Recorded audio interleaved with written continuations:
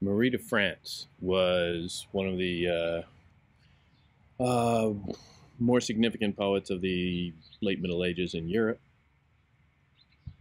working within the so-called courtly tradition, um, aristocratic, um, uh, aristocratic audiences, probably aristocratic authors. Uh, we don't know that much. We know well, we know essentially nothing about Marie de France as an individual. Uh, there are lots of theories about who she is. Was she the daughter of Eleanor Aquitaine? Was she uh, attached to the uh, to the court in some some lesser capacity? Um, nobody knows. Uh, there's a lot of speculation. It really doesn't matter to me. I don't care at all. Um, all that we really know about her is what we can glean from her writings and uh, we know this through this. We know that she was uh, probably born in France and she lived in England uh, at the time. They were well, France and England have always been uh, fighting back and forth, uh, and so there was an awful lot of uh, cross currents, and especially starting in from 1066 when you get a whole sweep of uh, French speakers into uh, into what is now England. Um, she appears to be quite highly educated, uh, unusual for a woman. Um, she is multilingual. She has some English. She's uh, she's writing in Old French, uh, and she claims to know some Latin. Um, enough to know enough that she's uh, that she might be uh, that she's considering translating it. So that gives you a sense of mastery. Um, the fact that she was so well educated does suggest that she was uh, of nobility. Uh, common people really had no education uh, at all, so this is a significant uh, little fact um, that we can glean from it. Um, but other than that, we really know nothing at all. She says at one point in her writing, you know, my name is Marie, I am from France. Okay, that's all we really have. That's all we really know.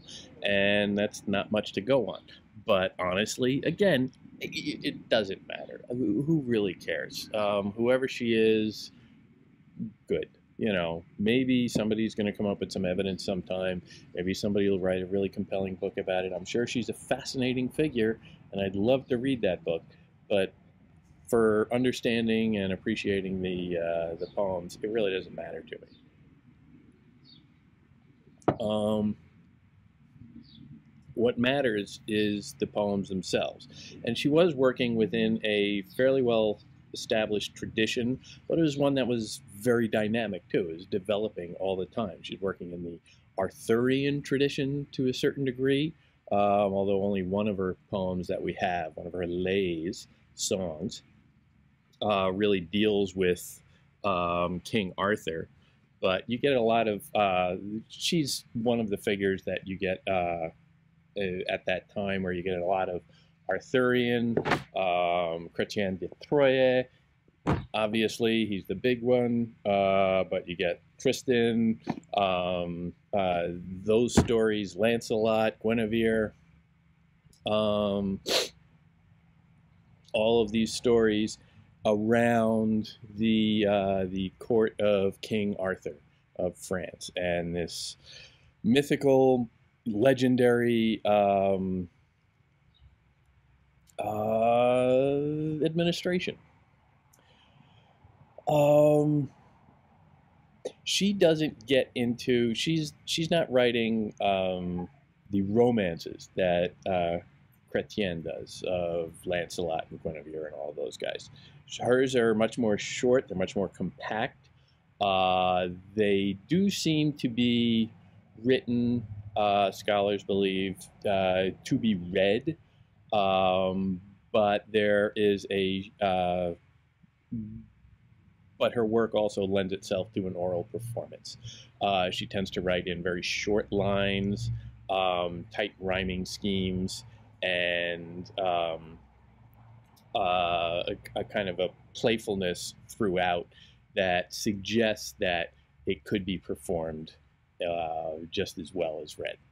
The um, um,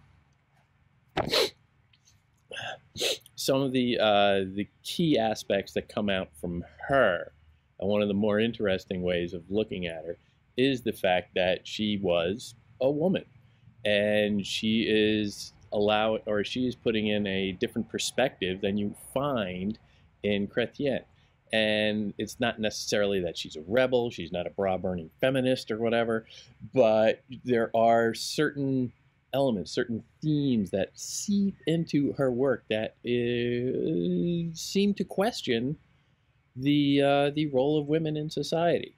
There's a uh, um, a uh, openness to that that you don't see very often in uh, in a lot of the other male writers that we know of the time.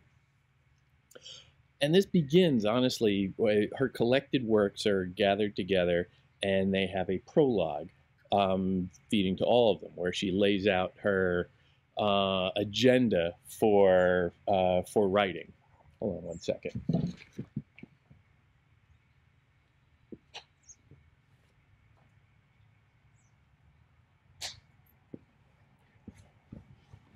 Sorry. Uh, in the prologue, notice how she begins. Uh, this is my page 297. Um, this is also a pretty good version. Uh, whom God has given intelligence and the great gift of eloquence, must not conceal these or keep still, but share and show them with goodwill. Now, put aside the uh, um, the rhyming of it, nice tight rhymes, couplets. Um, just think about of every way that she could have begun this. She started like that. She started almost defiantly, assertively feminine uh, almost. Even a woman, you could say, whom God has given intelligence. Because why would a woman write anything? Why would uh, anybody read anything written by a woman? But she says, no, I have intelligence. So I have a duty under God to share that. Um, must not conceal these or keep still, but share and show them with goodwill. It's kind of defiantly assertive and it's um, demanding a place at the table. She's not going to be silent. Uh, there's something quite shocking in that. Um, she uh, she goes on to cite Priscian among the ancients, custom was, Priscian can testify to this, the Middle Ages in Europe were very much steeped in the uh, Greco-Roman tradition, uh, more Rome than Greece, because they really didn't, there weren't that many people who could read Greek at this point, but their, uh, um, their heritage from the, uh, the Roman Empire was really quite pronounced. Um, hence she mentions uh, her uh, her understanding of Latin. But more than that, just she talks about the uh, the role of uh, of writing style. Honestly, that in their books they made obscure much that they wrote. It's true. If you read some of the uh, some of the authors of the earlier Middle Ages, let's say, um, they can be really quite obscure, especially when you're getting into the philosophy and the theology, which honestly was most of what was being written at the time. Um, it could be very dense and really tough sledding to get through, honestly, as a reader. The, uh, the expectation was that if you are reading this, then you have read miles and miles of other words all on the same topic, all dwelling in on this. So they're very elusive. They're assuming you have a broad base of knowledge and you are one of the club so you can keep up. Uh, they do not make it easy.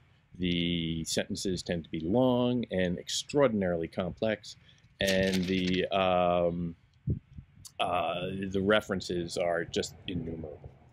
Um, but she's acknowledging this, and again, this is a, a, an important point. By acknowledging it, she kind of points out that this is significant and a great uh, characteristic of the Middle Ages uh, in, uh, in general is that it was enormously complicated uh, for, uh, well, it was enormously complicated reading, and deliberately so. Um, in order to ferret out the truth of what you see on the page that is so complex and, and confusing at times, uh, you need to really refine your reading skill. You need to be made an expert. And you only do that by more study, by really digging into a lot of other books, all of those miles and miles and miles of words. And so by doing so, by straining to see what the meaning is buried in all of those words, it's a kind of religious devotion because the uh, the practice of religion for the Middle Ages was trying to make sense of the world around them, trying to understand what was going on, trying to look around at God's creation and see, well, okay, how do I find evidence of God's hand in this? Because the world was bewildering to them. They didn't have uh, they didn't have much uh, scientific knowledge at all, and just trying to understand, to see through all the complicated patterns of reality, to try and discern some element of divine will or just purpose in the world. Uh, that was a primary uh, goal of the Middle Ages. And reading, it was the practice for that. Reading very complicated texts prepared you for that because it was exercise in having to think critically about what you're coming across, in trying to get a, uh, an idea of the truth within or underneath what you see. Um, savants and scholars were aware that in their strivings, more and more, they sensed the work's great subtlety increasingly as time went by. Here we see this is this is the project of the liberal arts. You sharpen your mind by cracking it up against uh, some of the most complicated uh, material you can find. Um, thus, I, he who would uh, keep from vice and sin must great arduous work begin.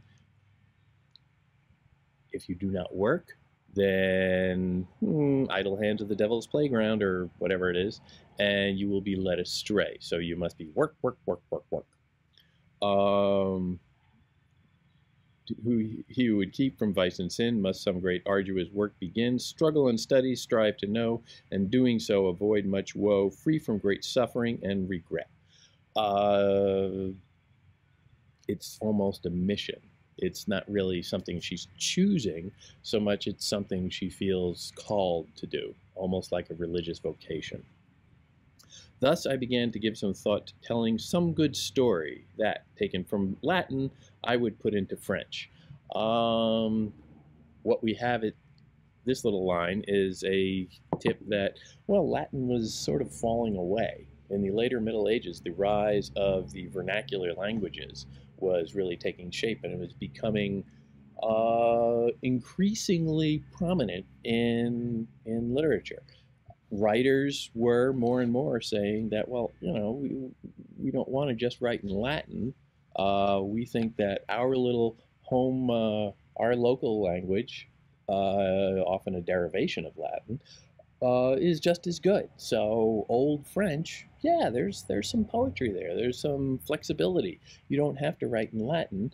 We can write in uh, French, and then the advantage then is that well, you get a new freedom creatively, but also you have the opportunity to reach a somewhat wider audience. Um, you still don't have great, even in vernacular languages, you still don't have great uh, uh, literacy rates.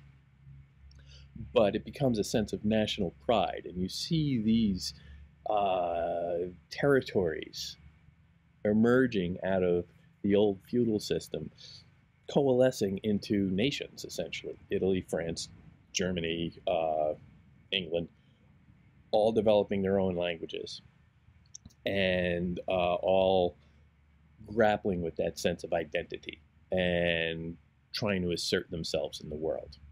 Um, so here she says, well, you know, I, I my first thought I, I wanted to tell some stories and I feel like I owed it to uh, to the to uh, something because I am so smart and I I, uh, I have a duty to do this. So her first thought was, well, I'll just go translate some Latin. Yeah, that's what you do. Um, but then I would win no glory there. So much is done.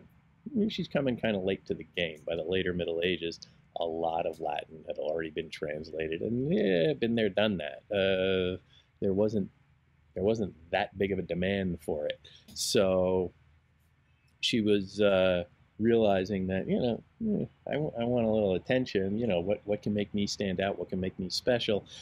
Translating Latin does anybody really need that? Um, but hmm, maybe something from the French tradition but then I would win no glory there. So much is done. She wants to be new. She wants to be relevant. A little ego in the game. She's striving for fame and recognition. Um, I thought of lays that I had heard and did not doubt. I felt assured that these first writers who began these lays, who told them made them known, wished for remembrance to record adventures, stories they had heard. So she's taking oral stories. She's digging back into essentially the folk traditions of the French countryside and saying, well, okay, you know, um, what are some good stories? People have always told stories, and only a fraction of them ever get written down. So the um, the, uh, the the impulse here is to cull together some stories from what people are saying, an oral tradition, and start writing them down. In a sense, that's preserving them. Um, in a sense, that is uh, developing them and amending them, and certainly she is doing that, just like every oral poet we've seen, they take some found materials and say, okay, well, what can I do with this? How can I shape this? I have the good raw material, but now I'm going to put my own spin on it. Um,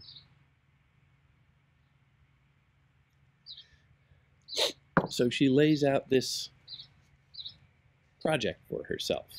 And because she is, it is assumed, uh, a, a part of some royal court, um, she addresses it and dedicates it to the king, which is a way of, you know, kissing up to the king, getting uh, a little favor in the court, always very important in politics, uh, but also to you know, preserve a little distinction and shine a little bit of a light on her work. She's very interested in self promotion here. She's very conscious of that. And quite frankly, she's demanding it because plenty of other poets get that. And why shouldn't she, just because perhaps she is a she? To honor you, most noble king, courtly and skilled in everything, to whom all joy makes obeisance, in whose heart roots all excellence, to gather lays I undertook, to rhyme, make, tell, this was my work. Again, that simple declaration, this was my work. It has value. there's something really quite impressive about that. This was my work. I, in my heart, thought, This I do, fair sire, present this work to you. If it should please you to receive my gift, for all the days I live, I shall be joyful. Ooh, all the days you live?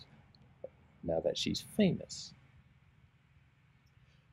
You shall give great happiness. Do not believe me proud, presumptuous, she's kind of uh, maybe aware of how this can be received, and she doesn't want to step too far outside the bounds of what is acceptable for a woman.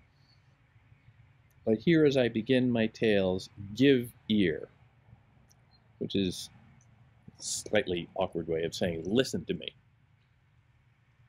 Um, again, it's a demand. It's oh, it's it's confident. It's impressive. The stories themselves that she tells, the lays, the poems, the songs, if you will, um, again, they can be sung. Uh, are largely, as she suggests, uh, repurposed elements of uh, of stories that have been around for a while. They're for the most part they're all stock characters and situations that she just rearranges a little bit and you know dresses up in different uh, in different guises. Um, a lot of them have a strong folktale quality. A lot of them have um, elements of fairy tales, um, and this um, this gives them a a very artificial look to it uh, or feel. They uh, and and this is sort of important before you jump in. Uh, they're not supposed to be anything but artificial. The artificiality is kind of the point, um, and it has a theological anchor to it. Um, all of this does sort of look like a once upon a time thing. It doesn't make any pretenses of that. It actually kind of revels in it at times, and we'll see. It is trying to be very fake, very false, very, you know, uh, you know, oh, it's all just silly.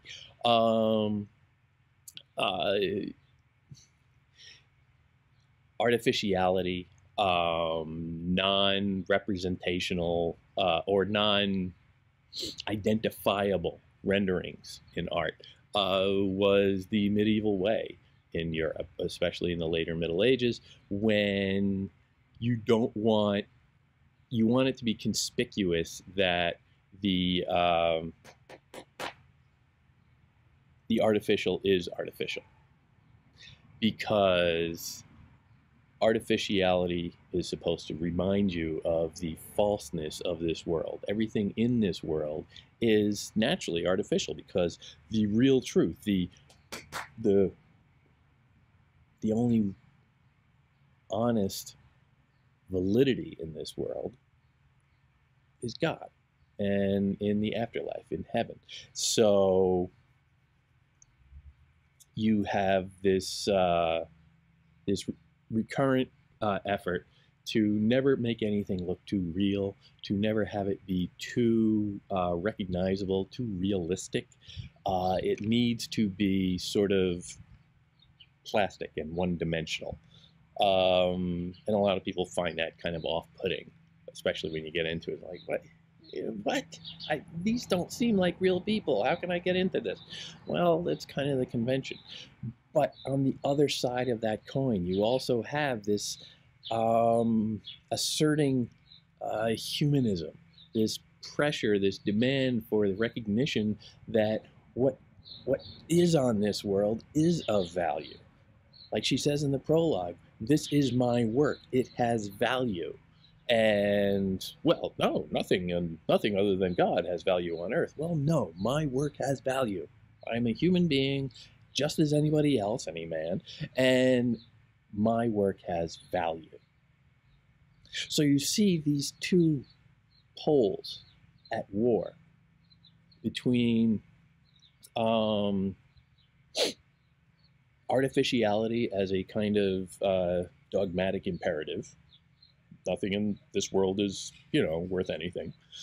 And this burgeoning humanism on the other pole that says, no, my life, my identity has value as a human being um, and deserves some recognition. And you see that again and again and again in all of these stories, and that kind of makes them fun. And once you can understand that dynamic working, working, it makes it a little easier to crack into them and see what's going on. Because otherwise, sometimes uh, the stories can be just a little bit too bizarre and too you know, silly sometimes to really um, get drawn in. But the underlying tensions, once you start listening to it, you can't help but hear it throughout. And that makes it much more entertaining to read. So Bisclav, Bisclav, Bisclavre. I hate pronouncing that. For some reason, it just sticks in my tongue. I just can't do it. But I'm going to try and I'm going to fail. So get used to that. Um, a nice little story. Um, very, uh, um, very fairy tale-ish again. Um, this guy or and this woman uh, marry, and everything seems perfect at first. But one thing she found most vexing, though, during the week, he'd disappear for three whole days. She knew not where. Um, again, that is line like 25. So fairly close up to the start.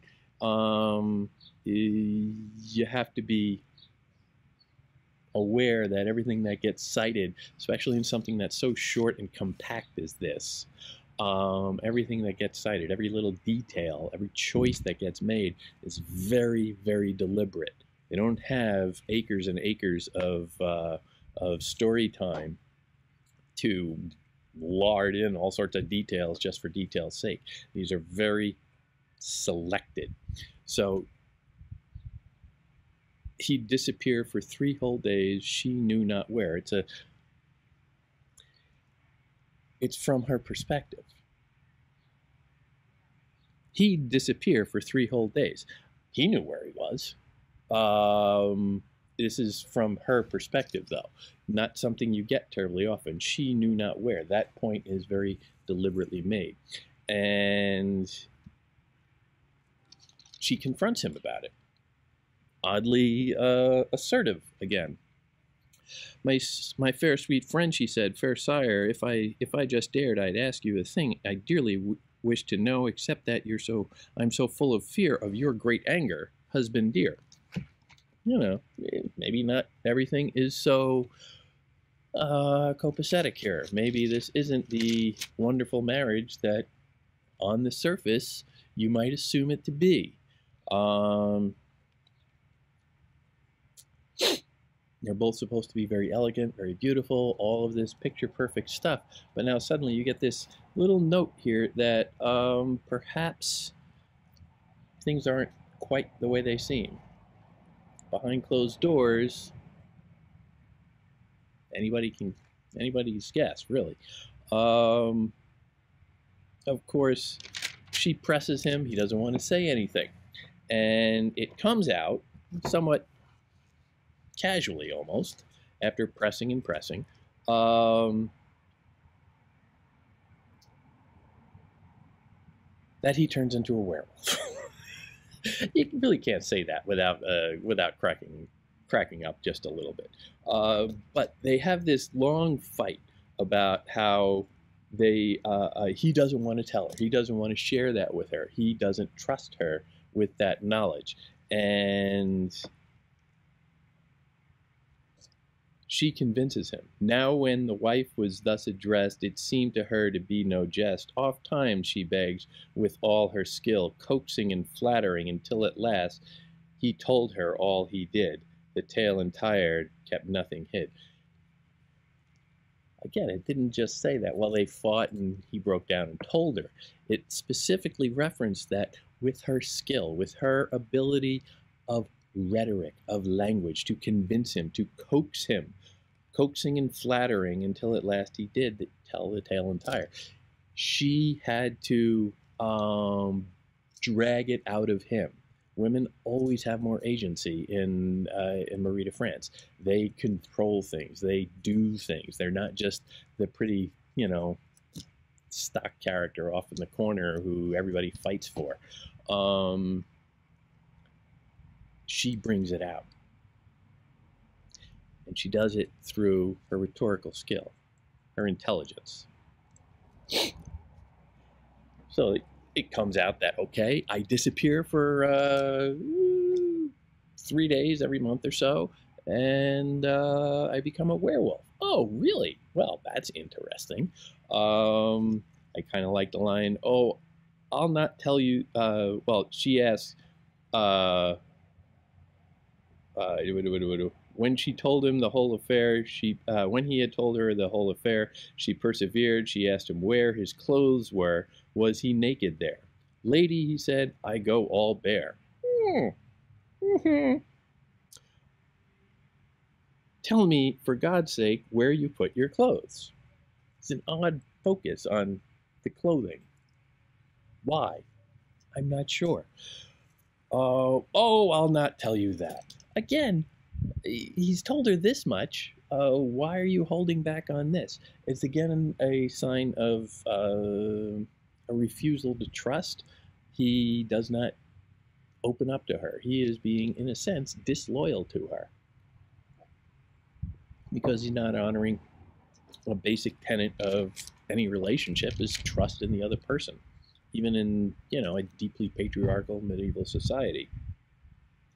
Um, she asked, you know, sire, she said, uh, said his lady in reply, more than all earth I love you. Why hide? Why have secrets in your life? Why? Why mistrust your own dear wife? Again, this is the point she's drilling in on.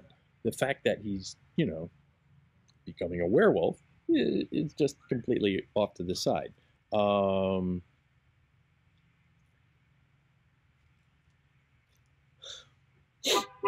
you can make a couple of arguments about that because the way he puts it, uh, he becomes a bis, bisclavret, French. Uh, he, I, Dame, I become a bisclavret in the deep forest, in the great forest, I am afoot in deepest woods near thickest trees and live on prey I track and seize, which is very wild. Um, it's almost like uh, you know the wildness within himself, a kind of barbarity almost that he can clothe himself in great civilization and sophistication, and you know I'm man of the world. I'm very cultured, but underneath my exterior, you find this wild interior, this bestial um, heart of man. And you can also, quite frankly, read um, as it develops. There's some, there are legitimate uh, critiques of this saying, well, it's got kind of homoerotic overtones sometimes. This guy just disappears from his wife, whom he can't open up to. He just disappears for a weekend once a month and talks about how, well, I just go crazy and yeah, I'm naked the whole time. Something's a little strange there. Uh, there, you can go crazy with stuff like that, but eh, I'm not going there. But the clothing thing comes back because she goes and she steals his clothing, and it's apparently the clothing that allows him to change back into a human being. He needs to sh- shield his bestial side and to re-enter the world of man. And of course, um, the werewolf uh, lives in the woods continuously as a werewolf and until he comes across the king. Uh, the king is out hunting or something and comes across him and essentially adopts him. And again, there's some weird bonding going on between the king and the werewolf as you know or the uh, this lord who is a werewolf now um, that has some overtones which you know you whatever you want to read into that, go nuts. But the king notices when he has a uh, when he has a little carnival, when he has a party, and the uh, and the neighbor, uh, his old neighbor, uh, an old friend perhaps, uh, who had uh, taken up with his wife at the same time that the wife betrayed the betrayed the the werewolf uh, when he comes to visit the castle, werewolf just attacks him, just and everybody says, "Wow, you know this this wolf has always been so sweet. He's always been so tame and loves everybody. He's like a little puppy dog more than a wolf." And but this guy, something's wrong. What's what's going on? You know, they're trying to judge the behavior and see what's going on underneath. And Um, that goes away. And then later on, when they're out and they, they encounter the woman, they find the woman, and the wolf goes nuts again. And they uh, they start to deduce. They start to say, well, you know, just based on appearances, on what we can see, the uh, there's something going on beneath the surface. We need to get to the bottom of this. We need to investigate. So, of course, the first thing that they think to do is, well, let's take the woman and we'll torture her. Put her to torture. She may state something, this dame, to indicate why the beast feels for her such haste. Force her to speak. She'll tell it straight. They don't torture the guy whom she's with, uh, whom she doesn't even, you know, seem to much love. She just says, "Yeah, all right. Well, uh, my husband's a uh, a wolf now, so you know, if you want to come over, sure." Um, very ambivalent about it, but their first go-to is, "Well, let's torture the woman." She wasn't even the first person that they noticed the wolf had a problem with. Um, and they figure out the whole bit with the clothes. Uh, so they uh, they take the clothes, they put the uh, they put the uh, the wolf in a in a room with the clothes. They leave him alone to be quiet for a little while. They want him to have his privacy, and then they come back and they find this guy, uh, you know, buck naked asleep, and they figure, huh, he's human again. Uh, I guess this was uh, I guess this was true, this little legend. Um, and it's a story that emphasizes uh, loyalty again and again. It mentions it throughout. And the idea that the wolf is very loyal to the king, and that is very prized.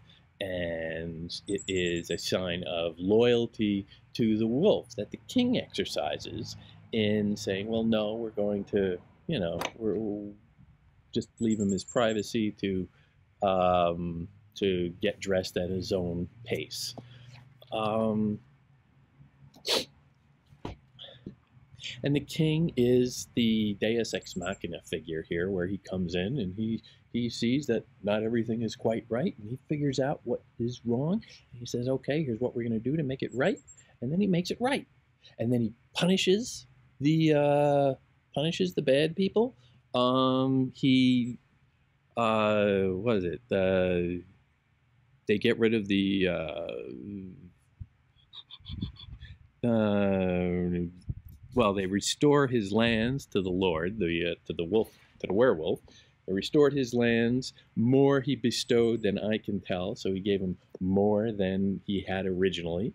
Uh, his wife was banished. She was chased out of the country in disgrace and chased out, traveling with her, her mate and co conspirator. Quite a few children had this dame, who in their way achieved some fame. For looks, for a distinctive face, numbers of women of her race, it's true, were born without a nose. Now, that's a reference to the fact that he cut off her nose. The king had her disfigured, uh, mutilated. Um, she is said to be quite beautiful at the beginning, so they slice off her nose to make her hideous. And that's really quite visceral and strong. And it, it's, again, a, a sense of almost disproportionate to what is going on here. At least that's my sense. And There is great emphasis on how she was not loyal to her husband. But in that, you can't consider that question without wondering about, well, you know, what about loyalty to her? What about justice for her? it started at the very beginning because the husband was just skipping out for three days every month and not not telling her anything. He wouldn't open up to her. He wouldn't trust her. He just you know didn't think that she had any right at all to know. So all of that began because of this. And yeah, maybe she did not act completely on the up and up, but if you're judging the man, or if you're judging the wife, you have to judge the husband by the same standards here, or do you? The, here, the society very clearly is not, because by any by any measure, there's uh, there's injustice on both sides. There is mistrust and distrust on both sides. Um, there is a severe lack of loyalty on both sides, but only one is punished for it. She is singled out, she is mutilated, and she is made a sense, uh, in a sense, a um, a hideous monster, just like the werewolf. Uh, but hers is a little bit more real, it seems, a little bit more visceral. Nobody seems to care that, oh, he's a werewolf. It just sort of goes away. This supernatural quality is just sort of there. Like It's just a plot device to get things moving. Um, it really doesn't dwell on that. That whole last paragraph really doesn't, or stanza, doesn't deal with uh, the fact that he's a werewolf at all. It just, you know, one day he, he, he wasn't a werewolf anymore, I guess. It, it just doesn't matter. The text doesn't address that, but it does address the justice, the punishment, the uneven nature of it. Um, the focus of the whole story is on injustice. But here, it also just pushes that aside deliberately into the realm of the artificial because it says, you know, it's true we're born without a nose. Noseless they live, the story goes. So right there, they re-emphasizing, as they did at the beginning, that this is just a story. Once upon a time, this is all just silly stuff. Who knows what it is? You know, I'm not telling this story. You know, I didn't make it up. Uh, it's just something that, you know, everybody, it's around. I heard it. Who knows? People are saying and you know it doesn't mean anything. It's just a story. It's so fake. It's artificial. It's silly. Uh, forget about it. It's silly but it's getting at a very fundamental dynamic within the culture that women are not valued at all in this society. And then they double down on that. And this same story you have heard truly occurred. Don't doubt my word well, you, whenever somebody tells you, you know, believe me or don't doubt my word, I'm going to doubt their word. So it kind of objectifies itself right there. It suggests that, well, maybe we should think twice about this. Maybe this isn't something that we can just take so uh, automatically. But it's troubling. And they're saying, you know, it's true. Is it? It's a story. What? You're not sure how to take it. So it's lingering in your the back of your head, and maybe you believe it, maybe you don't, but the details of it are just sort of curious. They're uncomfortable, and they fester in the back of your head in a way that gives the author, um, who is trying to make her way in a very uh, male-dominated uh, aristocratic society that does not want to trouble the waters at all. They kind of like the way things are, the way, you know, when you're in the royal court, uh, you figure that, well, okay, the way society is set up is pretty good. Let's not rock that boat. She's protecting that. She's giving herself some deniability here, um, saying, you know, wow, it's just a story. I heard it. Um, but it is shifting that story into a very ambiguous frame that makes you question it all the more. The other story that they include here is uh, Laustig. It's another story of um, a uh, husband and wife loyalty, betrayal. Um, uh, it's it's a little bit more of a straight up and down um, story of marital infidelity. Marital infidelity was a pretty standard trope of these things. Think again about, you know, uh, Guinevere and Lancelot. Uh, Guinevere was married to King Arthur.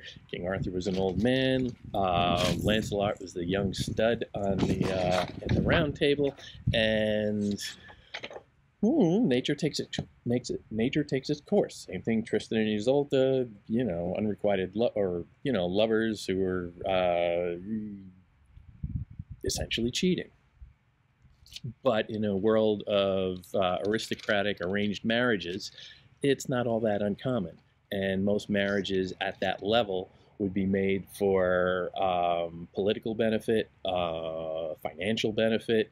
You know, I'm going to marry, I'm a dad, I'm going to marry my daughter off to the, uh, you know, a nobleman of a rival uh, kingdom so that maybe we can, you know, strike an alliance, a business arrangement. We're not going to go to war so much this way. You know, eh, we can't go to war. It'll get uncomfortable at Thanksgiving. Um, so there's that. There's that is a standard trope of these sorts of uh, stories. Um, but it's a little bit more. Uh,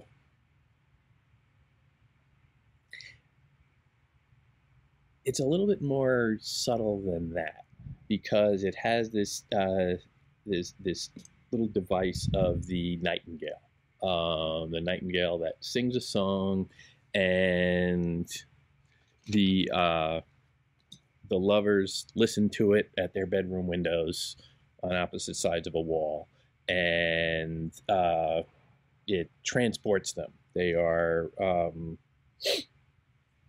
uh, enraptured almost by uh, by the beauty of it. Uh, and the way that they speak of that is is very indicative of um, the culture of courtly love to begin with. It's very um, very artificial, uh, very uh, formal. Um, on my page 307, around line 57 or so. For a long time, they loved each other until one summer when the weather had made the fields and forests green and gardens, orchards bloom again, all very symbolic of springtime, youth, uh, sexuality, uh, uh, fruitfulness.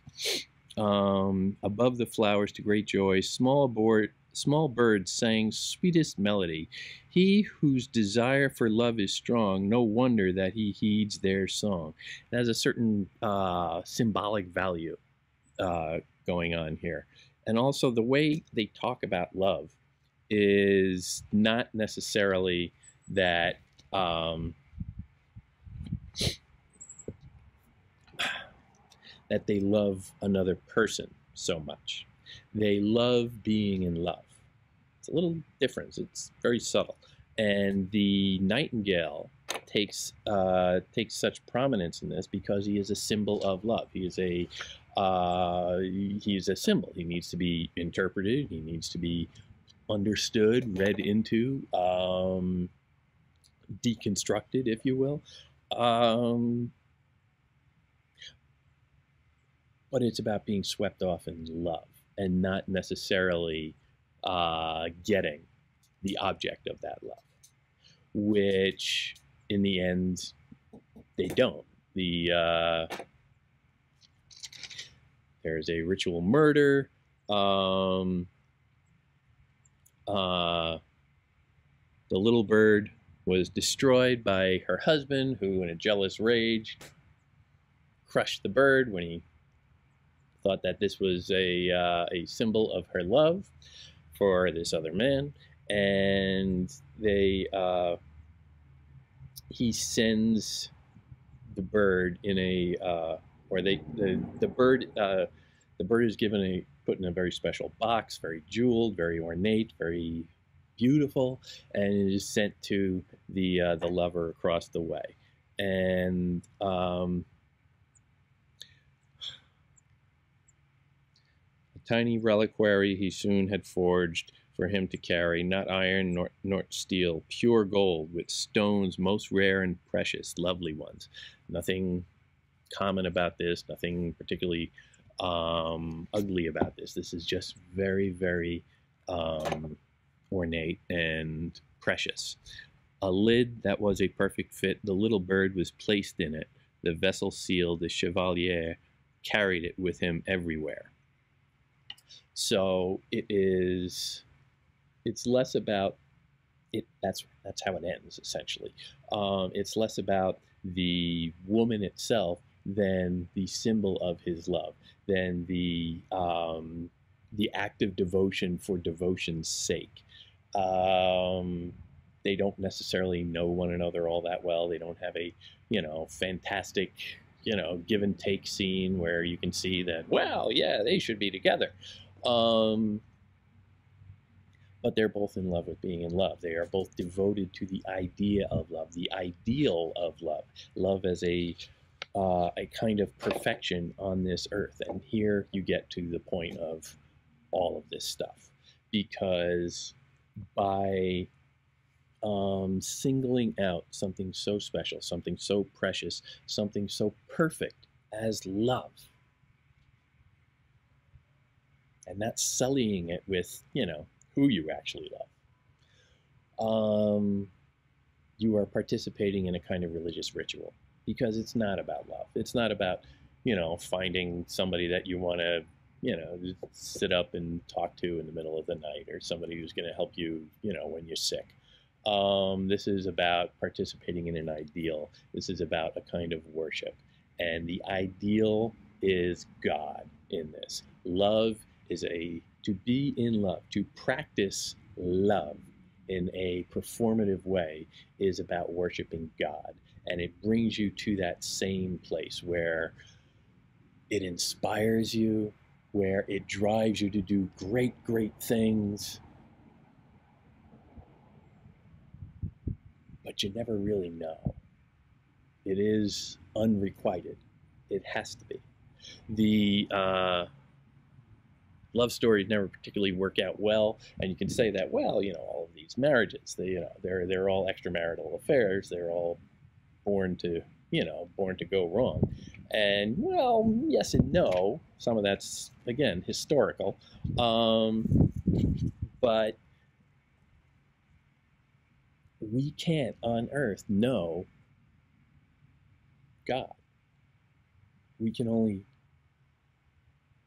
deduce what we see around here. We can try and read into the reality we see in our life a presence of the divine. And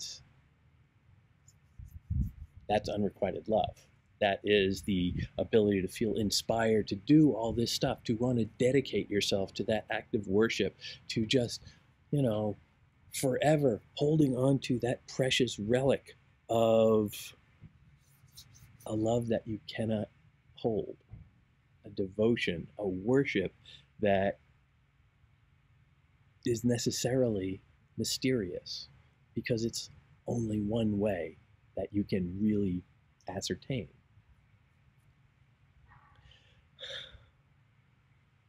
So love is held up as a participation in God, a participation in an ideal world, a Platonic ideal. It's going back to Plato and the uh, whole parable of the cave and all of that stuff. The sense that this world is false, that this world is just less than it should be, but that participation in God communication with God, acting and worshiping in a way that puts you in some sort of give and take with the divine. That's valuable. That has worth. And that tension you can see coming up against everything in there where you're seeing like well again we have a story of a girl with a, or, you know, probably a young girl whose marriageable age was generally fairly young, probably 13 or so. Um, often their husbands are somewhat tyrannical. Uh, often you can only assume that they are married for non romantic reasons, um, and compatibility itself was probably really the last thing on their minds.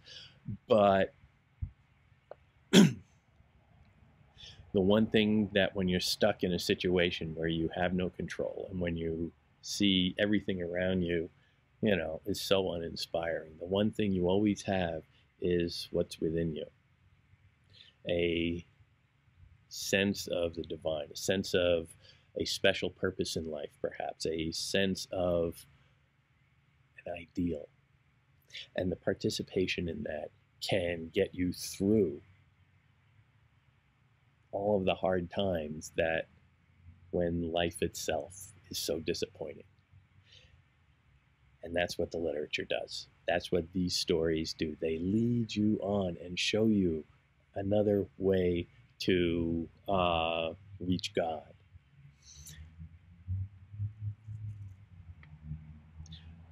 But in the act of telling them, they're also sharing stories and personalities and perspectives and opinions about this world, about the unfairness of it, the difficulty of it, the pain and suffering of it, that maybe it's supposed to make you appreciate the perfection of God even more. But that's a hard lesson to learn every day. Every day. And the telling of stories can allow you an expression of that pain, can allow you an identification of that pain with others, give you a sense of commonality, of communion, of shared purpose, shared frustration. And they can slowly, slowly nudge this artificial, pointless human life just a little closer to some notion of the ideal.